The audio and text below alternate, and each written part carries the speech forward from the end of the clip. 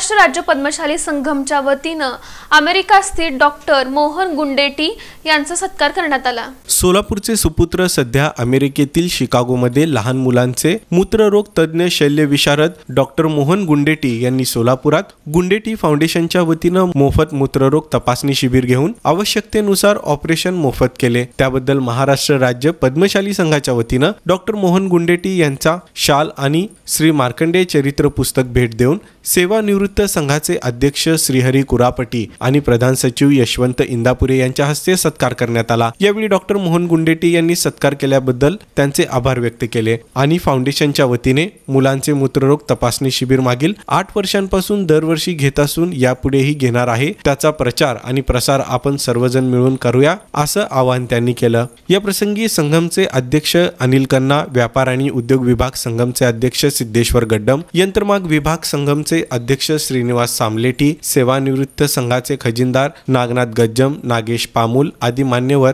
सदर चर्चेत सहभागी झाले होते. या कार्यक्रमाचं संयोजन यशवंत इंदापुरे यांनी केलं.